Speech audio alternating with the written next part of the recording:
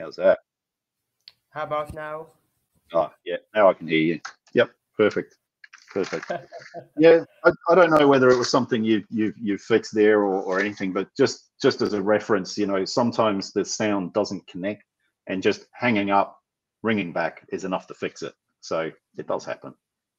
Yes. Mm. How about the cyclone in your country? Is it it was uh, okay? Well, the we we'd had that really really heavy rain, and then we had that cyclone, and then we had another thunderstorm, um, which caused more problems in the areas already affected by by the rain, the heavy rainfalls and everything. So on the on that third one, they sort of the, the, the government and the local authorities they said, we're going to evacuate you now because the rain is coming and we don't want the rain to arrive and then try and evacuate you. We'd rather get you out of the way, manage as best we can, and then we'll come back and have a look at it afterwards. So they did a they did a pre-storm evacuation, which was probably a really clever thing to do. Um, but according to I think I just saw in the news before, there's a possibility of another cyclone forming, and they're just they're just watching it at the moment just to see uh, to see what happens. So yeah, there might be more cyclones to come. Don't know. Yep.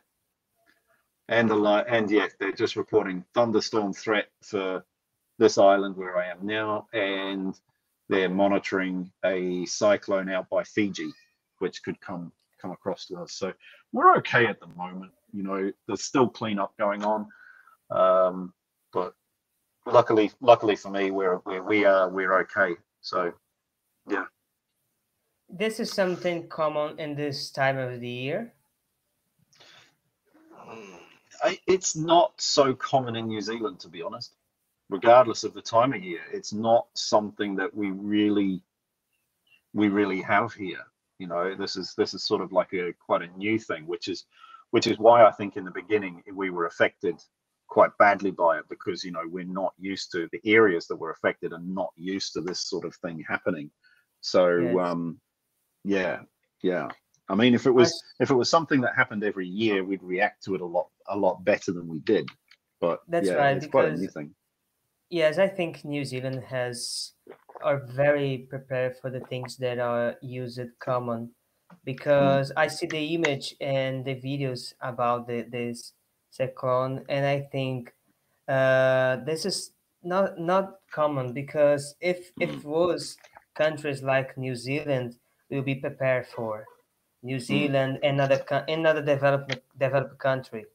Mm, mm, mm most countries prepare for what they get.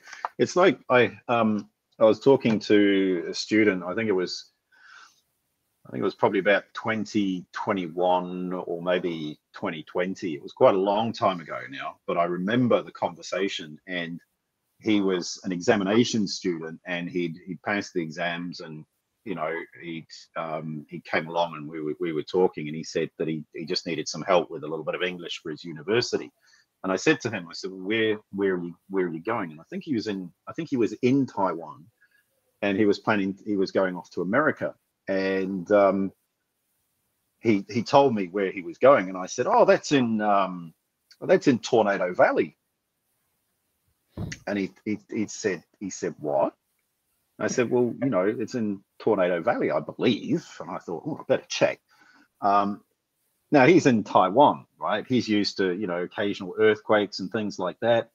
Um. Going into Tornado Valley, you know, he hadn't really done his research on the university, and he didn't realize that that was sort of you know. And I said, "Oh, don't worry about it." I said because you know they're used to it.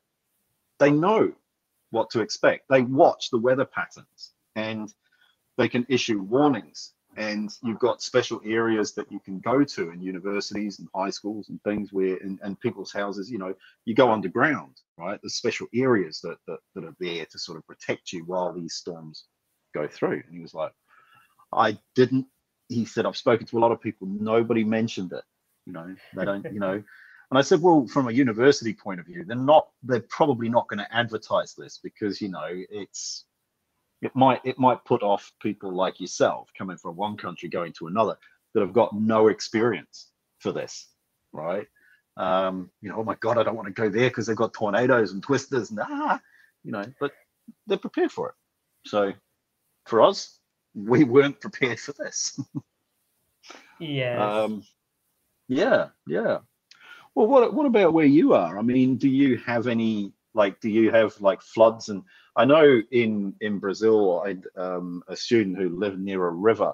Um, I think she's somewhere around Rio or something like that. You know, every year she said, "Oh, every year it floods, every year." And I said, "Well, why doesn't the government fix it? You know, it would make sense if it happens every year. You you do something to fix the problem." And she said, "Oh, her, her answer to that was, well, not our government." Uh, one of the big problems here in Brazil is is when people uh, build houses and mountains. So this is the big challenge because uh, when the rain come, uh, all the things happen, and we have an example uh, right now in São Paulo. Uh, I think uh, almost sixty people died because uh, the rain came and they wasn't uh, have time to escape from that area, and the mm. mountains uh, just uh, cover the, the, house with uh, because right. they they how can I say this when the the ground is uh, with lots of, of, of rain, lots of water. Yeah, it gets saturated. The word that you're looking for is saturated. It becomes absolutely saturated, and then you yes. have a landslip. Yeah, that's right. That yeah. this yeah. happened here in the carnival right. a few days ago, yeah. and this is a wow. really common. This is really common here. Wow! Wow! There you go. Saturated and landslip you can use that word like you could say the ground is saturated and so when the ground is saturated it becomes like really heavy and obviously then it can move. Um, we had those here. We, we we've had definitely had those here. You know we've lost you know quite a few areas have had had these problems. Um, sometimes onto people's houses. Sometimes the house itself has yes. come down with it.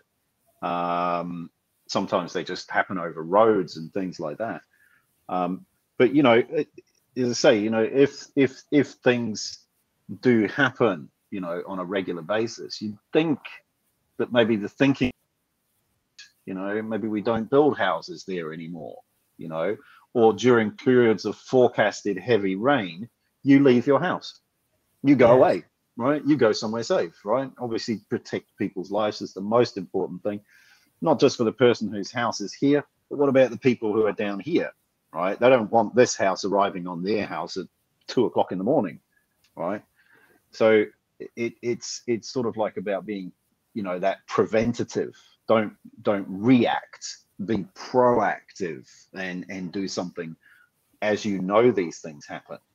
Um, but you know, it's like it's like in New Zealand. So New Zealand, we're used to earthquakes right? We're on what they call the tectonic plate, the ring of fire. It goes up through New Zealand, Japan, Mexico. So we watch each other, you know. So New Zealand's had quite a few earthquakes just recently, but our building code, our building rules and regulations, law, you could say, says you must build to these standards. And all the way through the building process, buildings are being checked by officials from the government departments to come and say, okay, so you you had a plan to build a house, okay, so we've approved this, right? You, all your codes and everything on here are covered, and now as you build it, we're going to check that you're actually building that house to that standard, and when you've finished, we're going to give a final sign off that people can actually go into the structure that you've built be it a big building or a, a small a small house or something like that. And that person who puts their name on it, right? They are responsible. And all the people whose names have been signing off at the various stages, they are responsible. And if something happens in the future and this thing falls apart and it fight you find out that somebody has done something wrong, that person can be liable for it. So, you know, bribing them is pointless. You can't bribe, you know, they, they, they wouldn't take bribes. They wouldn't do it because if they were found out, well, it could be a it could be a prison sentence. So, Yes. you know, they're quite serious about it. Uh, Mm. he yes, it's, it's interesting because uh, they patronize the, the, the laws and try to help the people to do the, the right things and avoid Mm. uh, some problems like this.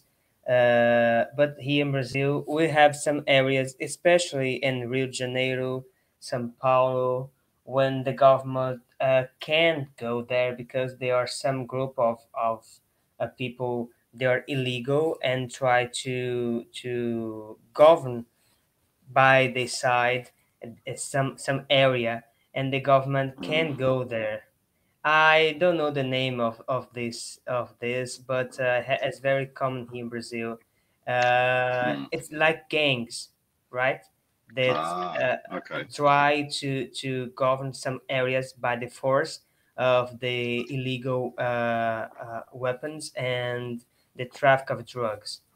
They command some Mm. areas, some poor, poorest areas, uh, uh, Mm. like uh, in some communities in Rio de Janeiro, it's very common.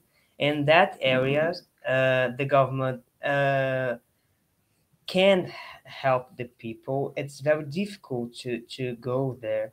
Uh, the police could go there, but it's very difficult to deal with these people because, uh, for example, they don't pay for the water, they don't pay for the energy because uh, it's ev- everything uh, illegal. They they make some they made some uh, mechanism to to to to get these things without the regulation. Mm. This is something that Mm. happened in the major cities. Right, right, right. So the government, the government doesn't try and stop these gang areas. They they try, but it's very difficult because it's something historical. It's something bigger. Uh, they are ramificated for very very uh, extensions, and when I I don't know if it's the right to say, but uh, they have some partnership with the, this kind of, of people. Some politicians have Ah, because they uh, uh, it's, it's about money corruption and all the things about this mm, and it's, it's more Mm. easy for a politician to be partnered with these people uh, Mm. uh, uh, or against them yeah, yeah. And I, I mean, um, uh, people, people like you describe. I mean, if you disagree with them or if you make their life hard, they'll probably come for you. You know, they'll, you know, they'll basically the person who's in who's in office can be in danger. sort of behavior. So yeah, I get it. So you sort of got corruption this side, or you know, you can either be corrupt or you can be a target, right? yes So yeah, if the if the proper if the proper laws and support for those laws are not there, then yeah, it becomes an issue. So oh, the differences around the world, eh? There you go. Yeah. well, Jeferson, I don't know, unfortunately, we're out of time. yes it was out of time and i thank you so much and i hope You're very you soon. welcome. All right, always Thank a pleasure. Anytime, anytime. See you next time. Bye. see you